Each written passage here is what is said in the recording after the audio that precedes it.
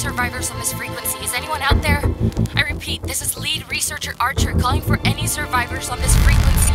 Is anyone. Rose? This is Nikola Tesla speaking, and unless it wasn't already obvious, this ship is under strict quarantine. There is to be no movement on or off the Helios. Ada, what the hell is going on? There's an accident. Sabotage. It, it doesn't matter. We need to get off this ship.